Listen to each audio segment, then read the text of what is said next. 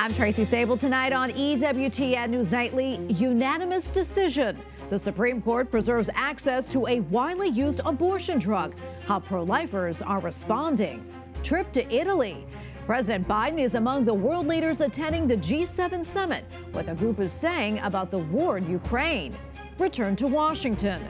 Former President Donald Trump meets with lawmakers on Capitol Hill. We have reaction.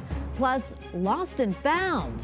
People in Portugal celebrate the Feast of St. Anthony. These stories and more tonight. From EWTN, the Global Catholic Network, this is EWTN News Nightly.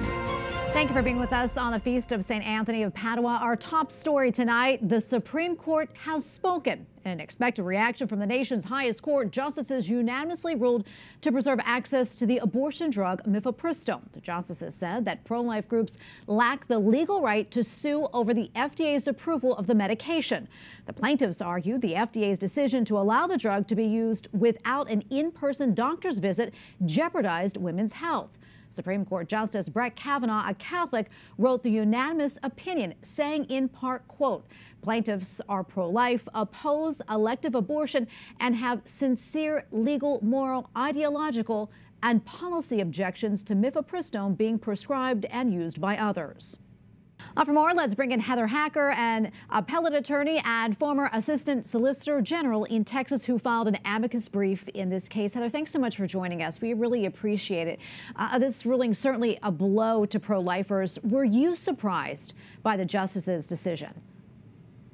I was honestly not surprised, and I don't think that many court watchers were surprised either, just based on the way that the questioning went at oral argument.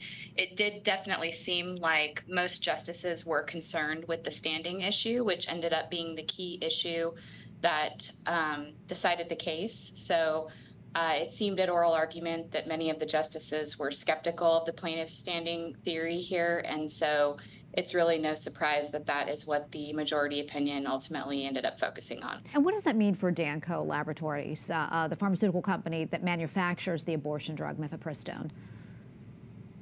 So they intervened as a defendant in the case along with the Food and Drug Administration. And so um, I believe that they made similar arguments here. And so this is a, um, th- this, the ruling will ultimately result in the dismissal of this lawsuit. Um, now, whether or not another lawsuit could be brought addressing the same merits based arguments here against the approval of the drug, um, that's a different question. And I think that's something that, um, you know, you could look to see in the future that there may be another case brought with a different party as a plaintiff that would satisfy what the court said about standing. Yeah. And what do you think this decision means for the Biden administration? And what type of impact, if any, could it have in the November presidential elections? Um, i am not sure that it will have a major impact. I'm sure the uh, Biden administration would count this as a success. I mean, certainly if you are on the right side of a unanimous opinion at the U.S. Supreme Court, that's certainly a victory. Um, I think that. Uh, you know, I, I, think that I think that really what's happening here is that the ultimate battle, you know, whether or not the 2000 approval for the drug or the 2016 or 2021 or 2023 changes to the the prescription regime, um, you know, whether whether whether those are legitimate or not, that question, I guess, has survived to be asked another day um, by a different plaintiff. So. Yeah you know, the questions will arise again, I think. Um, it's just that for now, I guess this could be counted as a victory for the administration. Heather, any other big takeaways from today?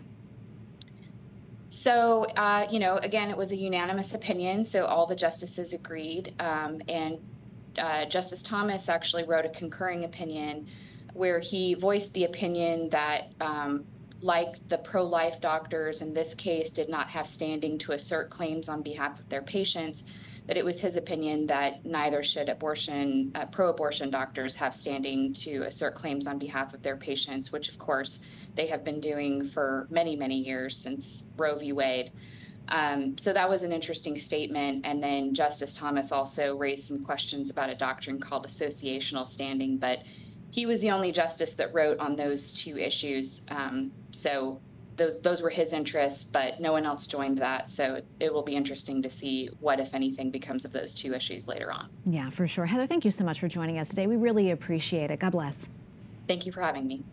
All right, for more on the Supreme Court decision from a medical perspective, we go now to Dr. John Bruchalski, a pro-life OBGYN and founder of Divine Mercy Care and Tepeyac OBGYN. He's also the author of the book, Two Patients, My Conversion from Abortion to Life-Affirming Medicine. Dr. Bruchalski, always good to be with you.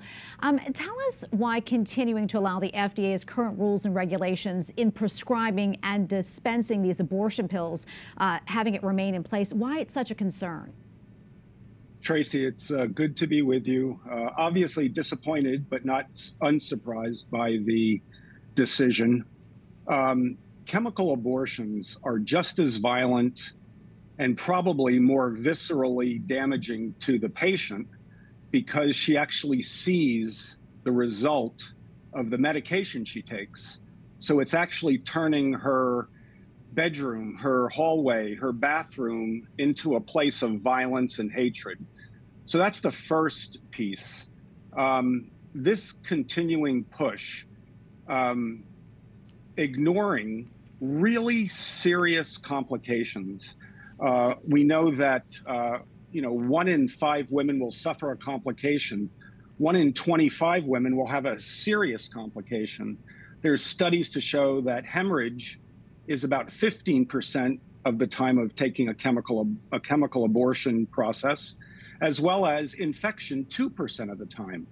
Now, along the side effects and the real danger, one, the FDA over the last oh what seven to eight years since 2016 has increased the duration of time in which the patient can take it from seven to 10 weeks gestation.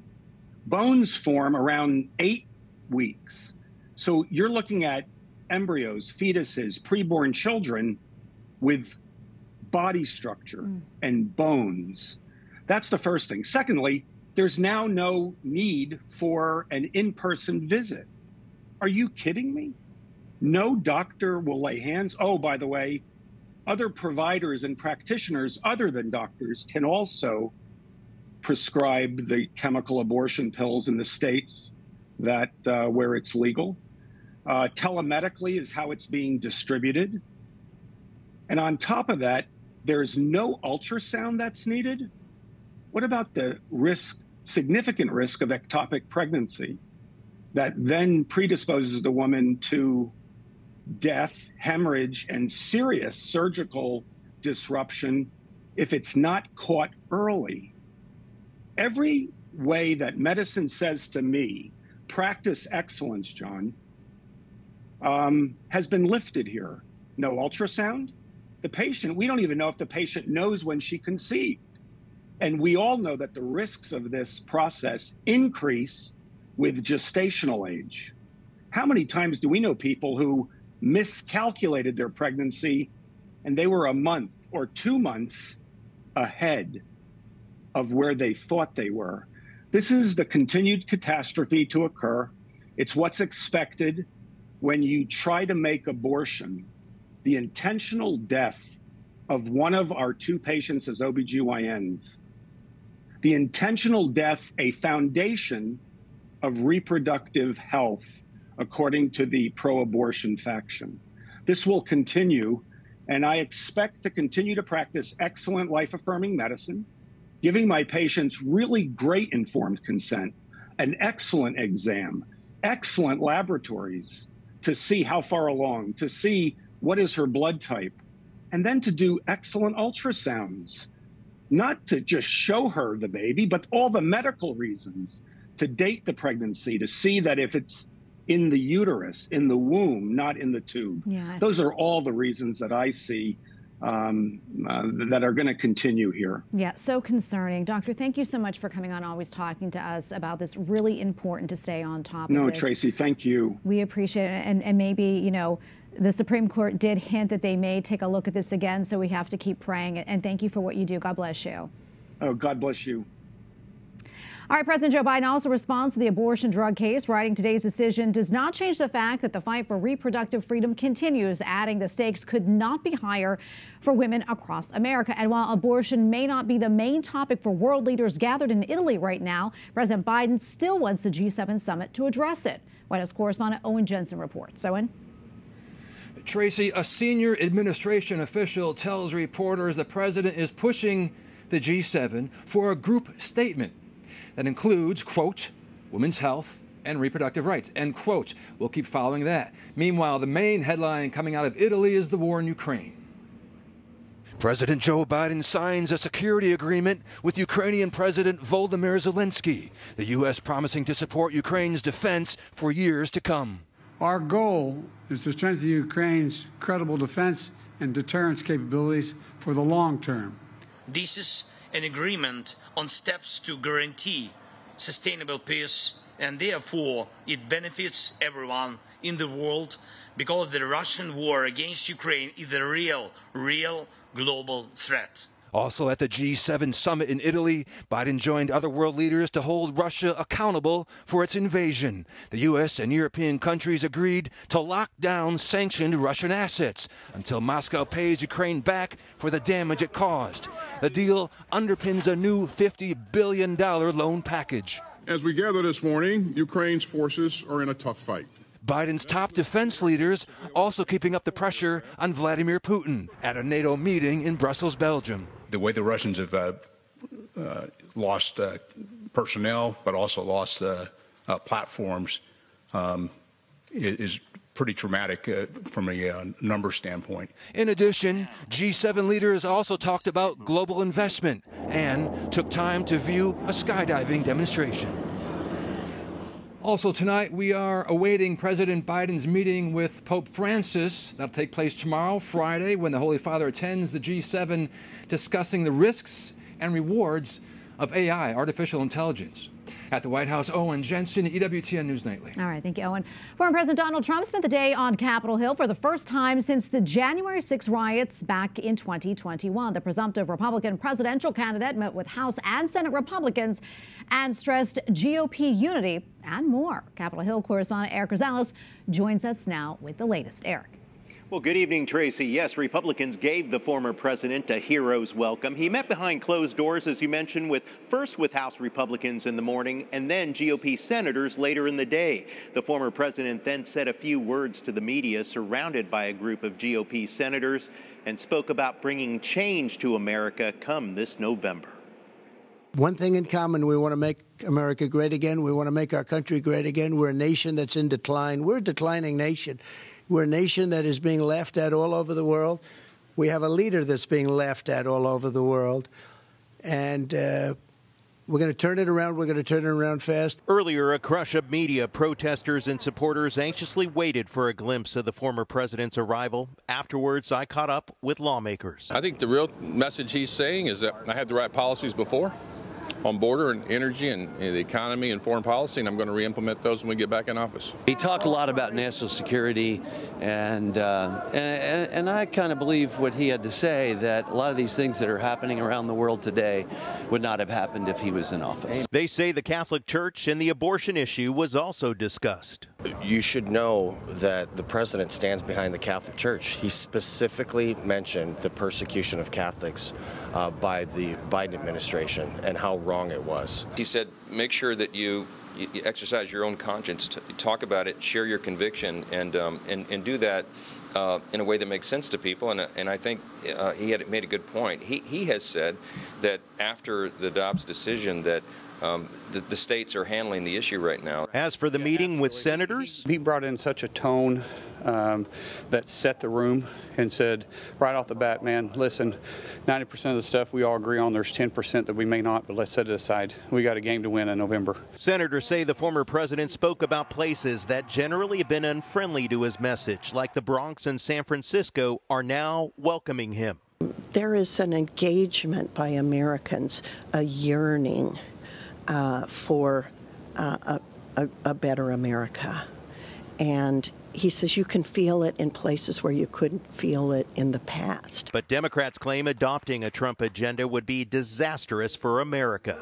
If America followed this Republican agenda, the middle class's incomes would go way down, inflation would go up, income redistribution would be very, very bad. Climate, they want to get rid of all the great climate work we did last time, would be out the window. During the meeting, the former president did not talk about a possible vice presidential pick. But the first thing that he did do is when he met with senators, he walked over and shook the hands of Senate Republican leader Mitch McConnell, who he had a strained relationship with. Now, both men had nothing but praise to say about each other after that meeting. Tracy? Well, Eric, I understand the Senate voted today on another bill covering IVF. What can you tell us about that? That's right. That was the IVF bill that uh, came from Democratic Senator Tammy Duckworth, uh, who herself had used the technology to uh, birth her two children. Now, Republicans uh, actually uh, did block it from proceeding.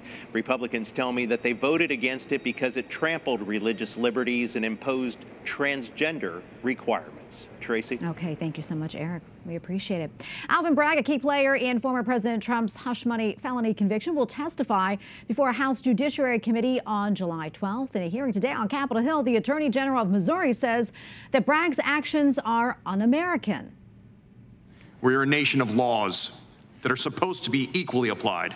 Instead, the left has prioritized its hatred of President Trump above the rule of law. To put it plainly, the left hates President Trump more than they love this country. Andrew Bailey made the remarks during a hearing on the Manhattan District Attorney's Office. Lawmakers examined the case against the former president, who was found guilty of 34 felony counts. All right, now to Moscow, where Russian prosecutors say an American journalist will stand trial on espionage charges. Wall Street Journal reporter Evan Gershkovich is accused of collecting secret information from a Russian tank factory for the CIA. Russian officials have not provided any evidence to back up the charges. Gershkovich and his employer vehemently deny the charges. The U.S. government has designated Gershkovich as wrongfully detained. No word on when his trial may begin. And we have a lot more still to come here on EWTN News Nightly, including gathering of church leaders, what you need to know about the U.S. Bishops' Conference this spring. Dr. Matthew Bunson joins us with the details.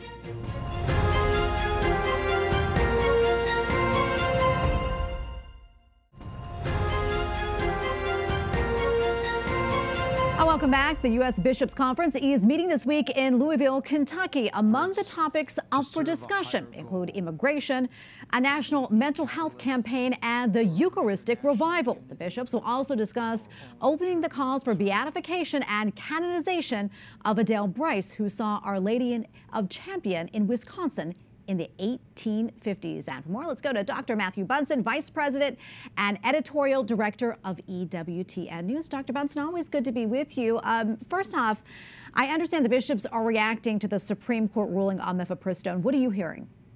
Yes, that's right. Uh, in fact, uh, the conference uh, just issued a formal statement uh, through its spokesperson, Chieko Noguchi, uh, in which they did two interesting things. The, the first is to note that this was a decision on the part of the Supreme Court on procedural grounds. That's something I know that uh, we'll be looking at very closely in the days to come.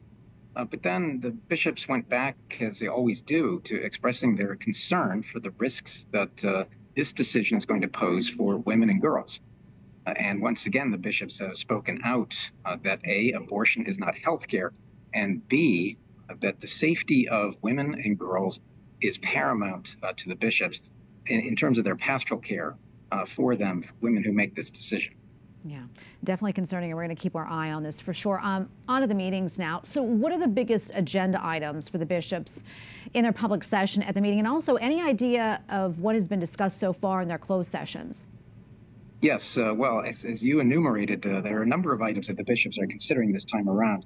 Uh, the mental health campaign, uh, they wrapped up their session today with uh, what I thought was a very poignant set of discussions, as well as some roundtable discussions among the bishops uh, about their own experiences in dealing with what has been an ongoing campaign to help people who are suffering from various forms of mental illness.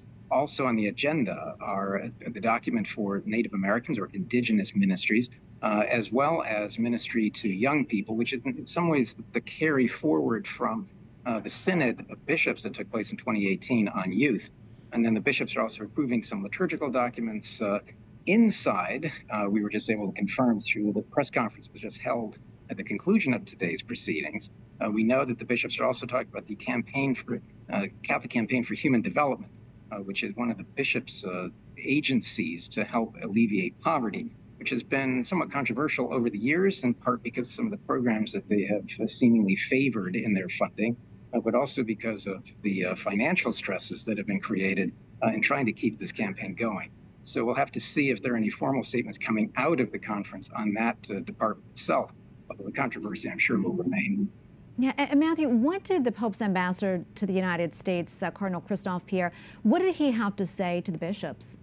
Yeah, there's always great interest in what uh, the papal ambassador, the papal nuncio to the United States has to say. In this case, the long-serving Cardinal Christophe Pierre, who was made a cardinal just last year, he spoke uh, beautifully, I thought, and very theologically about adoration, about the Eucharist, within the wider context of everything that we're talking about uh, this summer, which is the National Eucharistic Congress and the National Eucharistic Revival, uh, using the gorgeous imagery theologically of our Lord's risen, risen Lord, uh, meeting with the apostles and helping them to have that encounter uh, with his wounds uh, to heal their own.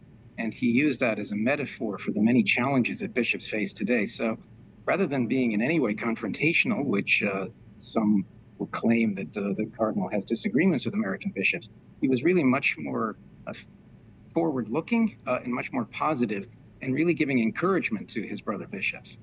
Yeah, and before I let you go, um, Matthew, we had mentioned Adele yeah. Brise um, yes. and approving the canonization cause for her. Can you tell us a little bit more about who she was? Yeah, well, it is customary for bishops to ask for bishops of the United States to give their approval, their assent uh, to a cause for canonization as it's being opened in this case, uh, Adele was recipient of the magnificent apparition of the Blessed Mother in 1859 in Wisconsin, what is now Our Lady of Champion. Uh, and it is the first formally approved Marian apparition in the United States. And I think the assent from the bishops is going to be very important in moving this cause forward. And this is uh, yet another demonstration of holiness in the life of the church, not just in our history, Uh, but carrying forward now as we're all called to be saints. Absolutely. Very exciting for sure. Dr. Bunson, great to be with you as always. Appreciate it. God bless. God bless. Let's keep the bishops in prayer. Up next on EWTN News Nightly, recruiting pitch. Learn how you can help the Blue Army, the U.S. group dedicated to Our Lady of Fatima. Plus, putting the feast in feast day. We'll explain.